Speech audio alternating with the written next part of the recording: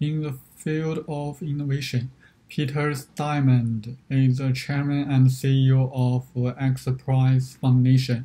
His very famous and private space flight Ansari Award. So this video I will mainly introduce Peter's action logic and how to feel like a leader.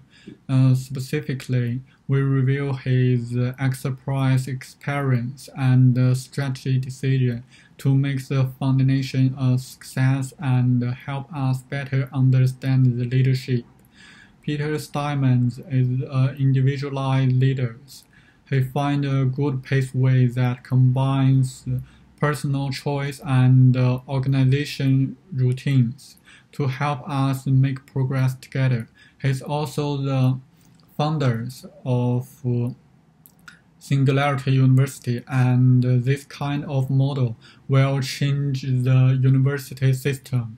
The historical model for education was okay in the 100 years ago when the world didn't change very fast. But today, I believe that uh, what you learn in college or in graduate school can be out of extremely rapidly. So I believe that uh, Singularity University is the concept of continuous education. As a leader, he dies to challenge authority and uh, export to help more and more people learn and make progress.